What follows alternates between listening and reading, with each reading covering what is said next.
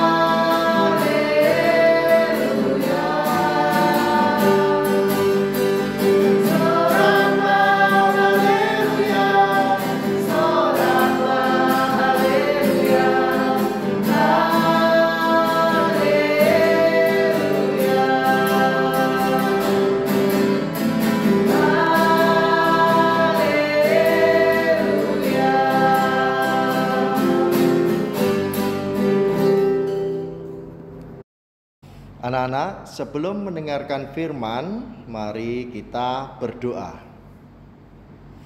Tuhan Yesus, Bapa kami yang Maha Kasih dan Maha Penyayang, terima kasih ya Tuhan. Di saat ini kami masih kau beri kesempatan untuk menghirup nafas. Tuhan, izinkanlah kami untuk mendengarkan firman-Mu di minggu ini agar kami dapat melakukan tugas-tugas kami seturut dengan firman-Mu. Tuhan Yesus, berfirmanlah, kami siap untuk mendengarkan. Haleluya. Amin. Anak-anak, sebelum kita mendengarkan firman Tuhan, mari kita rasakan bahwa berkat Tuhan setiap hari selalu baru Tuhan berikan kepada kita. Oleh sebab itu, hari ini harinya Tuhan. Kita naik ujian ini sebagai ucapan syukur kita.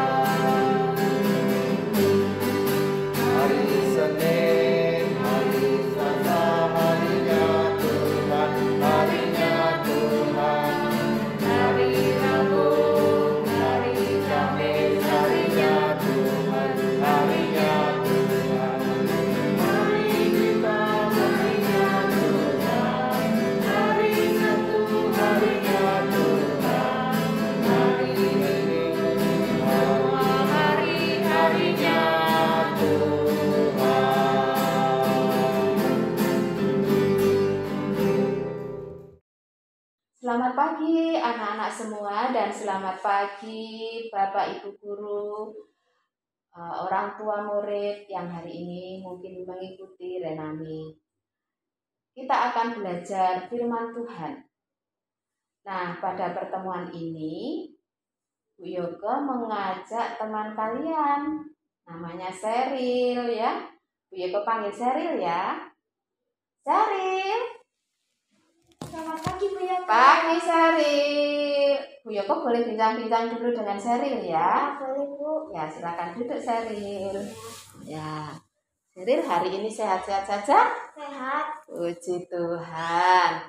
Seril, kalau boleh Bu Yoko tanya ya, dalam hari ini atau pagi ini, kira-kira apa yang sudah Seril terima atau yang sudah diberikan mama dan papa atau anggota keluarga Seril? Pagi ini aja. Kalau Papa biasanya membangunkan Ceril tidur Oh. Kalau papa bangunin Seril nggak kesiangan ya, Seril, Seril Iya. bangun-bangun gitu ya. Iya. Iya. Terus kalau mama? em, nyiapin eh, bajuku, Iya. terus ambilin sarapan gitu. Hmm, menyiapkan makanan. Iya. Yang masak? Yang masak juga Mama. Oh, berarti mama menyiapkan sarapan, menyiapkan pakaian, apalagi?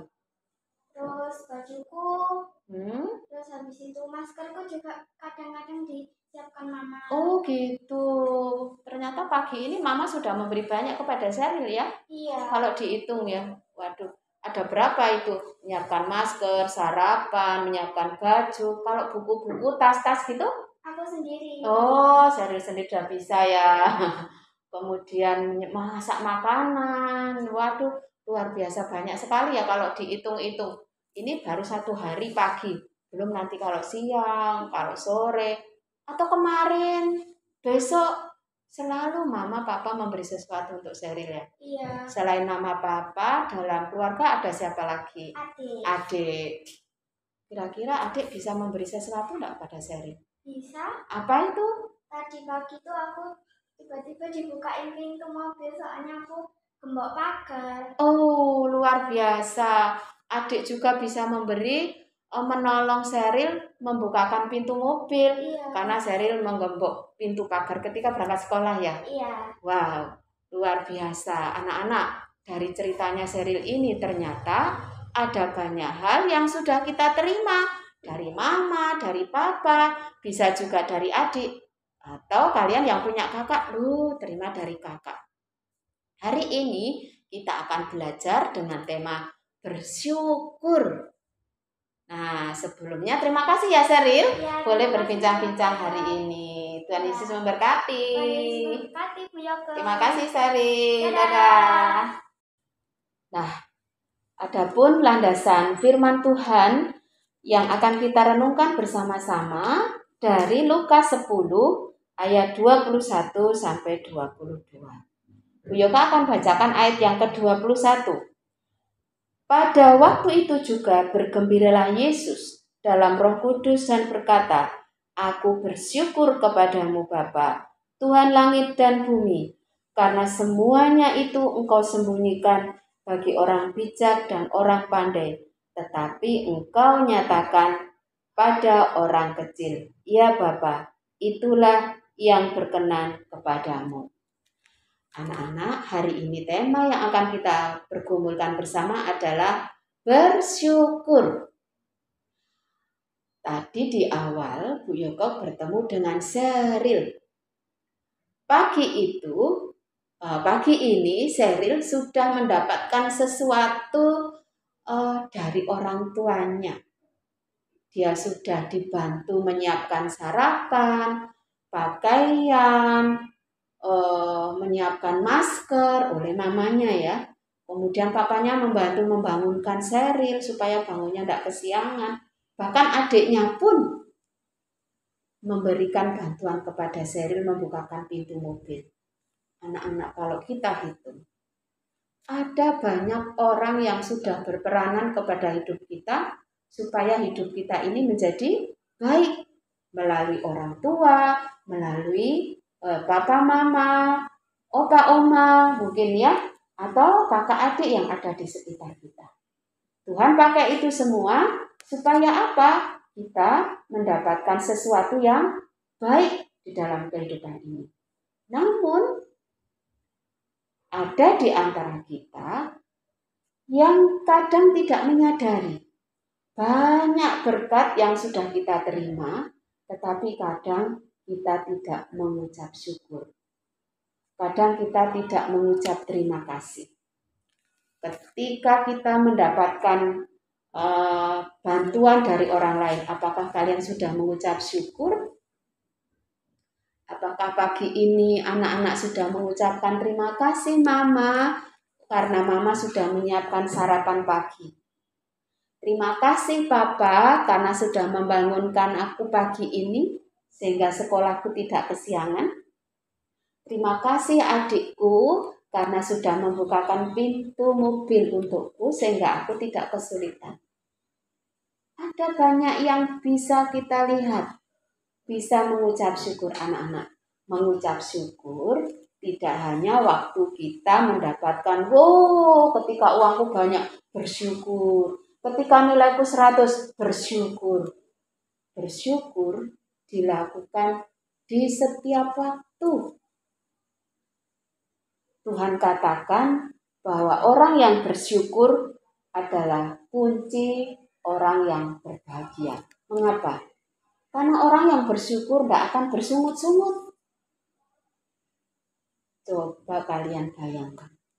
Ketika kata badan kita sehat, apakah kalian sudah bersyukur kepada Tuhan?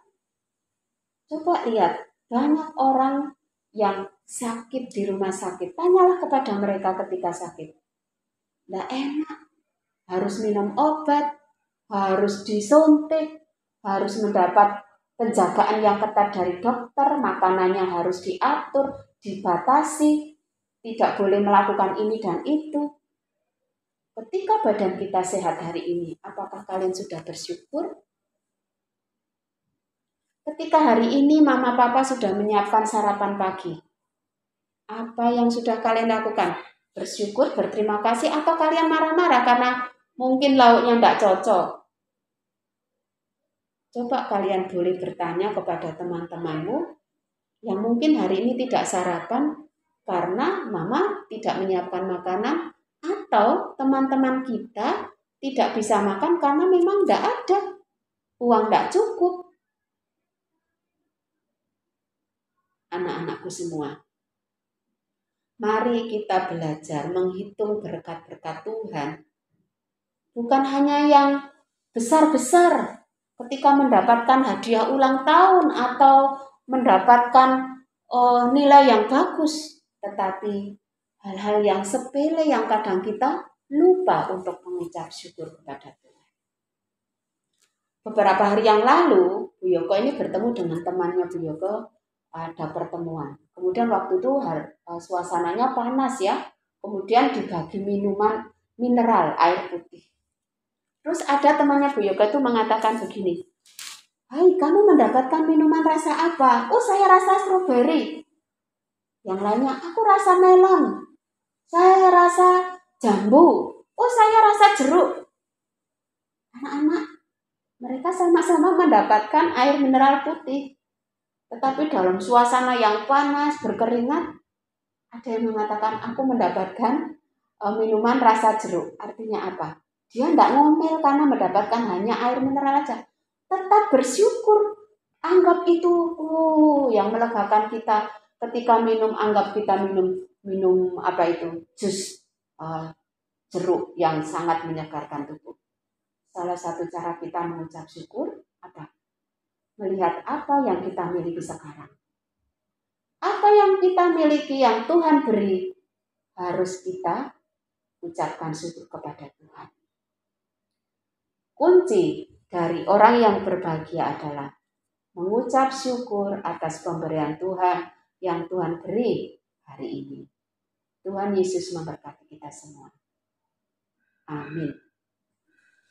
Baik anak-anak, setelah kita mendengarkan firman Tuhan, mari kita akan naikkan doa syafaat kita. Semua ambil sikap berdoa. Tuhan Yesus, Sang Pemelihara hidup kami, Hari ini kami bersyukur untuk firman Tuhan yang mengingatkan kepada kami semua betapa Tuhan sungguh sangat baik selalu menyediakan orang-orang di sekitar kami untuk kehidupan kami, menolong kami.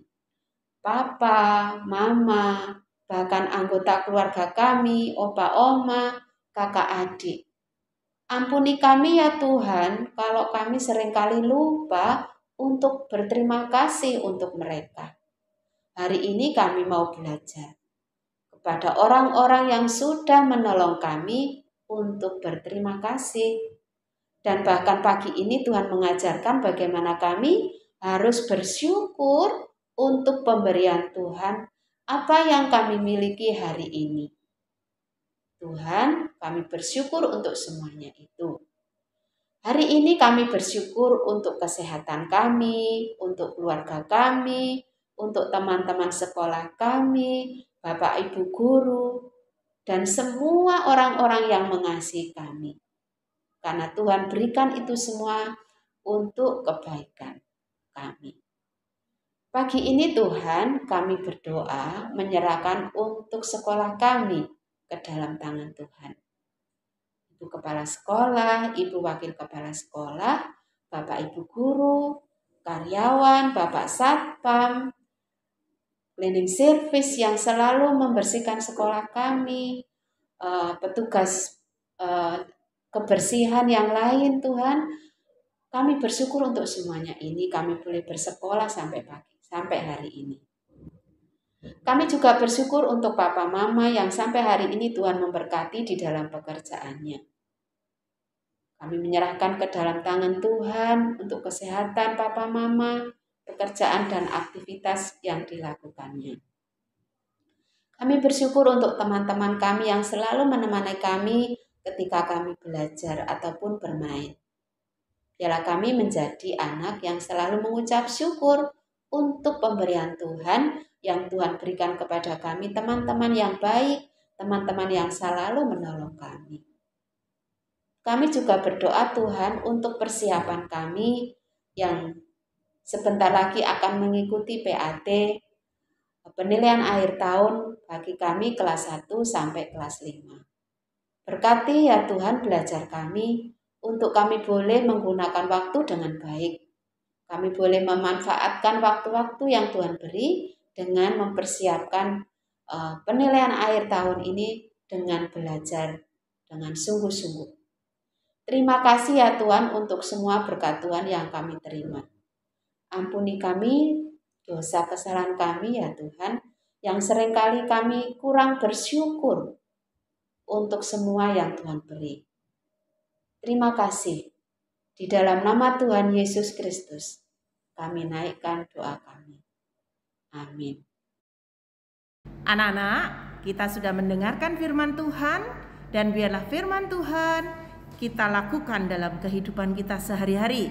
Kita selalu bersyukur buat berkat Tuhan yang senantiasa boleh kita terima. Mari kita aminkan firman Tuhan dengan naikkan pujian, memuji Tuhan selalu.